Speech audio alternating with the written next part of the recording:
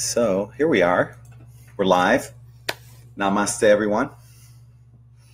My name is Gregg Prescott from In5D.com, right there. And I uh, just want to welcome you guys to uh, a quick, semi quick topic today. It's called Is Anyone Else Experiencing Sleep Anomalies? And uh, I see people are starting to file in right now. I'd like to say hello to Eugenia, Laura, Paul, Cara, Christina. Um, namaste, everyone. Thank you for joining me. And uh, earlier this morning, well, let me uh, back up a little. I had a uh, last night. I went to bed around eleven thirty or so, and I woke up at one. I felt like I slept all night, even though I kept. I probably woke up at least two or three times, at least two or three times between 11:30 and 1 o'clock. When I woke up, it felt like I had slept all night. So here it is, 1 o'clock, and I get up and I'm like, okay, what am I going to do? Well, I guess I'll work.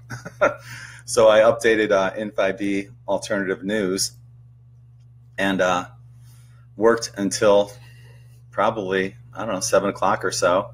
I went out to the beach uh, did my little walk of gratitude and and uh, love bubble meditation. Came back and worked. I've been up ever since since one o'clock this morning. So I'm going on basically an hour and a half of sleep, and I feel great. so I made a post on Facebook this morning, and I got so many responses from other people who are going through the same exact thing, and I'm going to read a few of them. The first one is from Georgia. Come on. I swear I'm missing time and also waking up and wide awake for hours. Strange. And I see we have so many more people joining in right now, too. Thank you for joining me. Namaste, everyone. Diane, Jessica, Paul, Martha, Rajiv, Kathy Sue, uh, saying, Me too. This has been going on for years now. Sherry, Melky, Reiki, Kathleen, Hira, Burgett, Wow, so many people are here. Thank you for joining me. Um, some more comments. Jill Straub says, I've not been sleeping well, waking up and can't get back to sleep. Time feels like it's speeding up. Energies have been weird since the eclipse. I guarantee a lot of us have been feeling the same thing too. Since that eclipse, there's been some pretty powerful energies that are going on. And uh, just glancing at the chat, wow, so many people here. Hi, everyone. Uh, Carrie Ann Faye says, yeah, I'm experiencing the same. Glenda, hi, Glenda. LaDanya Hill, same here. Namaste. Uh, Ella Royer, yes, sleep is all over the place. Definitely. Um, hello, Carmen. Stacy LeClaire. Hi, Stace. Nikki McMullen. I had a crazy dream that I was in the South Pole and there were children there. My daughter was kidnapped in my dream, and I figured out that's where they're keeping many, many children. Wow, that's something. So it's almost like a dream and remote viewing at the same time, or a parallel lifetime. Okay, so uh, moving on, Stephen Butner says the source of sleep anomalies are dream anomalies. With each passing day, our solar system moves deeper into a strange new region of space. Mia Hoggett says, yes, sleeping one to three hours, then awake. Seeing images through shut eyelids closed, and I can see my aura swirling around my body, heart beating fast. Uh, Mia, what you're doing right now, you're actually tapping into your third eye. Um, I have an article on third um, on how to awaken your third eye, and you do it right before you go to bed, and you'll start seeing all that stuff. Um, I'll post a link after this video is done right here, and you can check out that article. But yeah, you're that's you're tapping into your third eye right there. Rochelle Stanforth says, "Yeah, this has been happening to me for a long time now. Last night I was asleep by 11 p.m., then woke up at 12:40 p.m. But I swear I had been asleep for hours. I think she meant 12:40 a.m., which is basically the same thing I did. You know, it's uh, an hour and 40 minutes of sleep is all she got. Excuse me." Jay Lee Galanti says, "Yeah, husband and I knocked knocked out and took a nap around 7 p.m. Awoke at midnight and still up. We woke as though we had slept clear through the night, so rested. Strange sleep patterns with the solar winds, etc. So, um, once again, uh, we're going to the solar winds and the solar eclipse, and uh, so many different things that are happening right now with the energies changing. Just want to say hi to Shelly Joe. Namaste. Gail, it's 4:30 a.m. here, and I've been up all night. Okay, she must be Gail. Must be in Australia. Carmen Quinones, I slept too little at night, but during the day, I also have to take naps. Yeah, me too. I love my naps.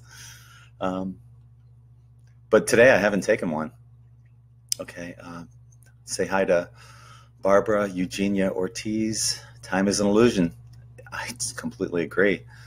It's quite the illusion, though, when um, we're all having the same time anomaly at the same time. Time. Hi to like Magchella, Terje Kushk, Nisha, Lisa, Van V. Gregg, thanks for sharing. So nice to know I'm not alone in this. You're definitely not alone, Lisa. We're all in this together. The, that eclipse had me vibrating since before it. Wow. I had a, a, a really strange vibration the other day as well. So um, I think many of us are experiencing a lot of the same things. Uh, Dana Wang, I also have this feeling that something big or bad, like a storm, is coming. Well, there is a big storm, uh, Hurricane Irma, that's on the Atlantic, uh, in the Atlantic Ocean, and uh, as fate would have it, um, Michelle and I are going on a cruise on Monday, and we get back on Friday. So I think that, and we're going to Nassau, which is out there by the hurricane. So uh, I think what we're going to do is um, put our energy into it, into uh, diverting it, and making sure that it doesn't hit land or affect many people at all. So it's something we have to do, and we're still going to go. We're going to do it, and uh, it's going to be fun. Jill Nichols said she saw energy waves. Juan Carlos, same here. Two days without good sleep, feeling tired, energetics, hugs from Aruba. I love Aruba. It's beautiful there. Uh, Rhonda Terry, we are rebooting. I love that explanation. That's really good. And I've got some so many other possibilities here too that I'll get into. Um, hello, Paige. Joyce, Strange Dreams, Awakening Confused. Oh my God, there's so many comments here. I, I can't get to them all right now. Um, let's see, where did I leave off? Okay, right here, Deborah Ann. Um, on comments that these are just comments that I'm reading right now um, from the comments that I received this morning when I woke up at 1 a.m. Deborah Ann, same here, woke up at 1 a.m., expecting it to be light and time to get up. It's more than just a coincidence when this happens to so many people. Gary Ibrayani, up every 20 minutes. Seems like I sleep in two timelines. Weird dreams that I can't remember. Speaking of dreams, this is a really cool one I had two nights ago. I was in a restaurant, but it seemed more like a, like a house and there was a big speaker up on top of a table. So I'm just sitting there and I'm I'm acting like I'm playing guitar, yet I had no guitar in front of me. And what I was playing was coming out the speaker, note for note. I was playing the lead to an ACDC song called uh, Livewire. And uh, I was just playing that lead, and even though it was an air guitar, I was transferring my thoughts from what my fingers were doing into the speaker, and every, everyone could hear it. It was so cool. I think that's where we're going to in 5D and beyond. I don't even think there's a need for instruments because we're going to be creating our own sounds or things that are replicating sounds that we've already been familiar with. But I think we can create our own sounds, our own music, uh, without the need for any instrument. And I think that was the the message of that dream. Here's a really interesting comment by Jed Riverstone. I felt huge timeline collapses, merges yesterday and last night. Lots of body mind symptoms. Woke up slammed and feeling like I might not even get out of bed today, which is very rare unless I'm very sick. Then suddenly, bing, it's time to get up. Felt it all settle and another whole newness in the world today. New earth being born more and more into this reality every day now, at least from my perspective. That's an awesome perspective, Jed. Thank you. Just peeking up here. Um, Nikki McMullen, yes, everything has been super intense. It's been raining for two days, very symbolic of a cleansing. Very good. Yeah, definitely. And we look at all these hurricanes that are happening here and the, uh, the rainfall that's happening as well in the United States, especially from Hurricane Harvey, which is going up the East Coast right now. A lot of rain there and a lot of rain coming from Hurricane Irma as well. So, yeah, it, it can be cleansing, and there, there can be good things that do come out of it. Let's just hope that this next hurricane just kind of stays out in the ocean. And that's what Michelle and I will be working on um, next week.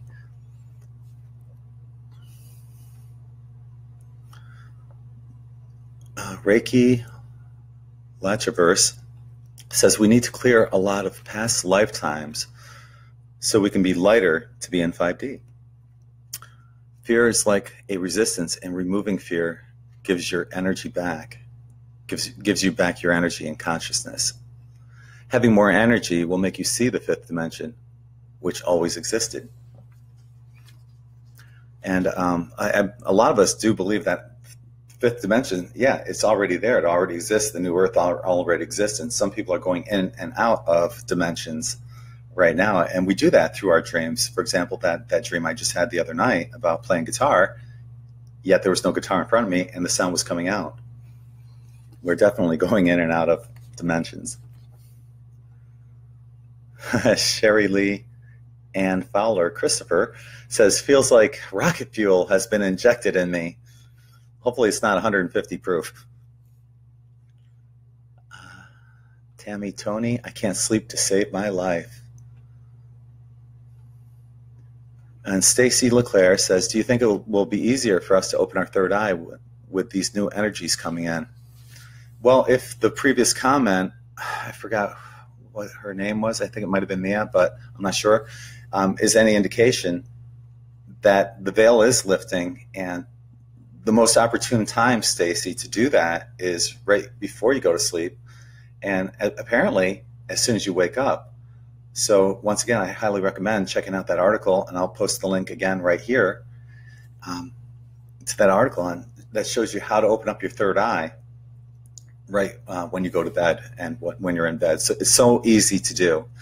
Um, anyone can do this, and uh, you know you you see all these articles on how to open up your third eye, and it's all this long, drawn out process on how to do it, but it's real simple. I break it down really easily and uh, hope you check it out and let me know if you're able to open up your third eye.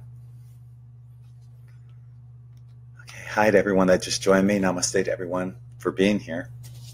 So glad that you can join me uh, in an impromptu Facebook Live. Oh, just a few more comments here and then I'll move on.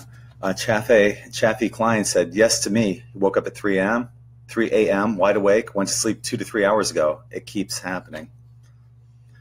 Uh, my sister, Tara Celine Jordan, for the last three days, my dreams have been crazy and so real. I can recall all of them. So I wonder if other people out there are um, having more or better dream recollection right now. I know some people are, have a hard time remembering their dreams, but I'm just wondering if you guys um, are finding that with these energies, you're able to recall your dreams. And if so, are they more bizarre? Are they more positive, negative? Uh, let me know. Diane Gloria, our DNA is activating. Our entire biochemistry is changing. We're becoming more and more crystalline. We're not going to need much sleep, nor much food. Some of us will just want smoothies. I like that. Uh, Betty Kelly says, Yes, I haven't slept well for several days. Don't really know why or how to turn it around. Just wide awake all or most nights. And the last one I have here is uh, Lisa Porter Cook. Like most others here, I'm the same. Last night, I I really barely slept at all. The energies are crazy too, so intense. About half the time, I feel like I'm sort of floating just outside my body. And you probably are. Uh, saying hi to everyone that's here uh, Jill Nichols, Dean Chambers, my ex wife Amy, my daughter's mother, Bella Swansong. Namaste to all of you. So, boy, I've got a lot, lot to cover here.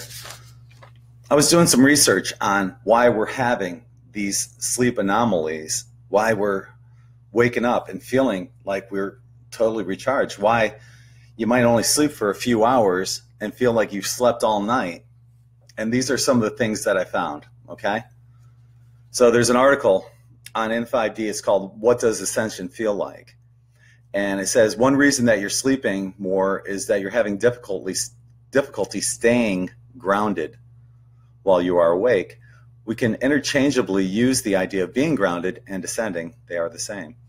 Being grounded does not mean shutting down your awareness of higher information. It just means that it just means being strongly rooted in the earth while while it is coming in. So you can be a conduit rather than having information get stuck coming or going. As you spend more time consciously into your physical body than you were before, you require more sleep. Prior to moving into ascension, you were not as present as you thought you were. As you have moved into ascension, you have moved more fully into your body. And so, by doing that, when you leave your body, it is more observable. You feel tired and you sleep more.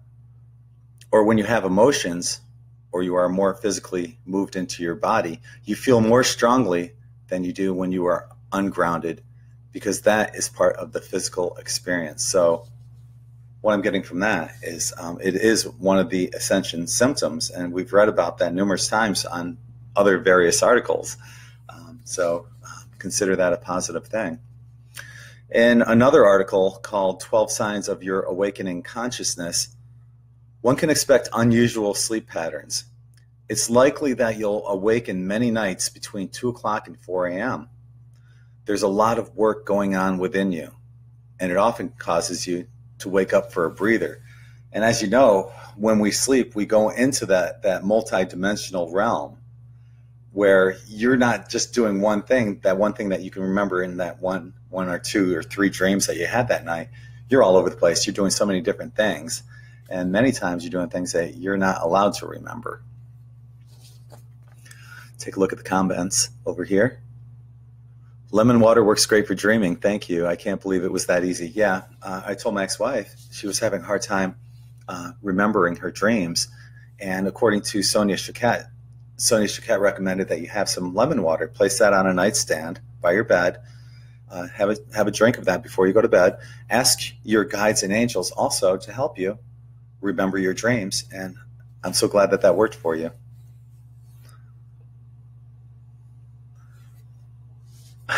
Kia Levine, I keep losing out, uh, time, hours, and days. I'm going to be talking about that in, in a few minutes, Kia, so stay tuned.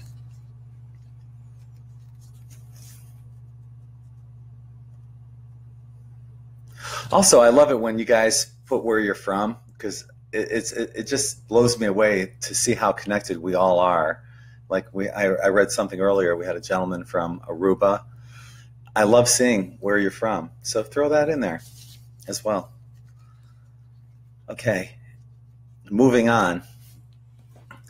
In the article, symptoms of energy shifts. Waking in the morning and struggling to get out of bed after a full night of sleep, or falling asleep in the middle of the afternoon is common. This is caused when the energy is shifting throughout the whole spiritual body. This will pass in time. Each person has a different time frame. For some, it can be weeks, for others, months, for others, years.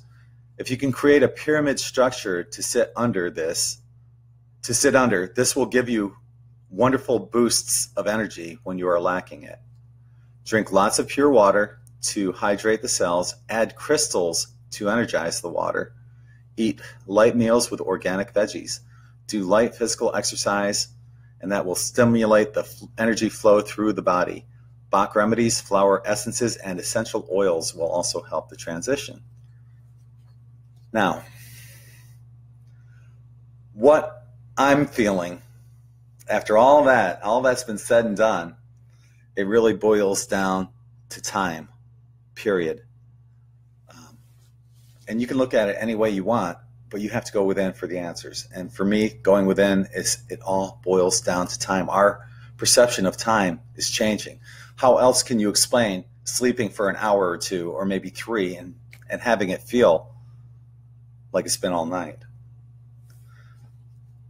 Ian Lungold stated that time was speeding up because creation was speeding up. Creation is speeding up.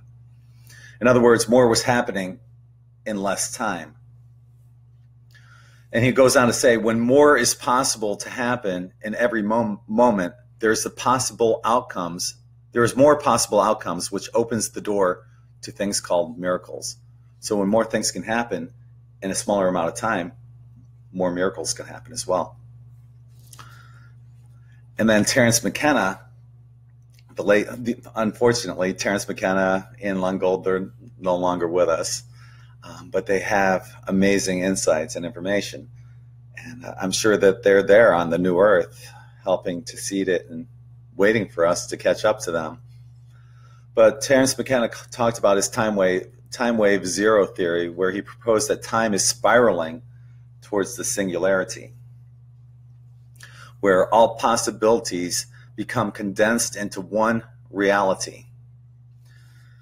McKenna noted these changes in time mirror current events with past events in a cyclic manner that repeat over and over again, but each time on a shorter cycle until the singularity is met.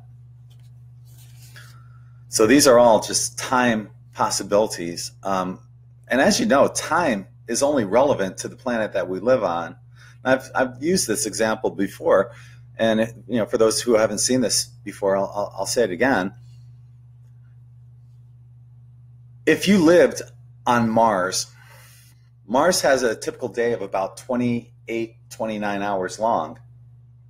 So their days are longer, which means one day there is probably, you know, maybe four or five hours longer than it is here if you're let's say you're 35 years old here on earth on mars you might be 28 29 you know it, time is only relevant to the planet that you are incarnated on. That's it.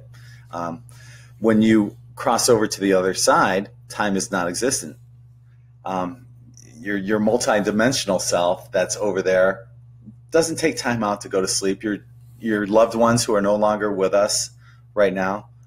They're up 24 7. There's no 24 7 as a matter of fact, but that's, you know, just a cliche that we say, but they're up constantly. Uh, they're, you don't need sleep on the other side. Time is a construct of this third dimension. Now, some people would, would say that, you know, and it is possible that depression might cause a change in your sleeping habits, but from what I can tell, that's not a, a factor with many people that are are doing their work, that are staying grounded, you know, and doing all the things that we're supposed to be doing as we raise our vibrations. The late Jose Arguelles looked into Lord Pakal. He's a Mayan um, uh, elder back in, uh, gosh, the mid 14, 1500s. I, I don't know, remember specifically. But um, the one thing that Jose Arguelles got out of um, deciphering everything from Lord Pakal's tomb was that Lord Pakal stressed that we need to live without time. As a matter of fact, the last five days on the Mayan calendar is called Time of No Time because there's 360 days in the calendar, and then the last four or five days, I'm not sure, depending on whether there's a leap year or not, um, is the time without with with no time. So that was the one, the most important thing that Jose Arguelles was saying that you know we need to live without time. And you know, you look at everything. We have TV programs, TV schedules that lock us into little blocks of time. We have the work week, work schedules. We're constantly blocked into time. You'll notice I, I never wear a watch. I could care less what time it is. You know, every day is Sunday, every day is Monday. It doesn't matter. They're all the same to me. But certain things, you know, if I have a, like I'm doing a radio show or a conference or something like that, of course I need to know about that. And in the back of my mind, I'll keep a, a note of that. But I really do try to live without time, and I highly encourage you, even if it's only on, you know, if you're working all week and you only have the weekend off, live without time during the weekend. Okay, try to you know remove the watch. Don't look at schedules and stuff like that. Get away from time because that keeps us locked into this third dimensional reality. Okay, let me take a look at the comments here. And hello, Beatrice, who just joined us. Uh, Taryn Beddick says, I used to remember my dreams very clearly for about a year now. I can't remember, and when I do, they are very strange. Well, like I said before, um, as I mentioned to uh, Bella, um, try try try using that glass of lemon water by your bedside uh, and take a sip right before you go to bed, and ask your guides and angels to help you uh, remember those dreams. Okay, so another possibility is that timelines are collapsing. And we see this evidenced through the Mandela effect, where what's happening is we're merging into the greatest and highest possible timeline for humanity's best interests. And we're seeing that big time right now. So that might be another you know thing that we're experiencing with these timelines collapsing is the lack of sleep that is needed. Um, maybe on the new timeline, we don't need sleep. Just like where we're heading um, as multidimensional beings, as light bodies, we don't need sleep. So this might be another um, instance where we're just acclimating. We're getting used to something that's going to happen in the hopefully inevitable near future. Another thing is the glitches in time that we're experiencing. Um, a lot of us have gone through these different glitches in time. Um, I know that the, the one that sticks out the most for me is that I used to live in this one house, and there was a VFW on the corner with this huge tank there. And it was so easy to know where my house was because I'd turn right there every time. So one night, I'm, it's about, well, I said one night, it was in winter. It was probably like eight o'clock, but it was dark out by then. Uh, anyway, I take a left by that tank and I go down the street, and all of a sudden, there's nothing. I could I could I didn't see anything, and uh, anything that was recognizable from my street, and uh,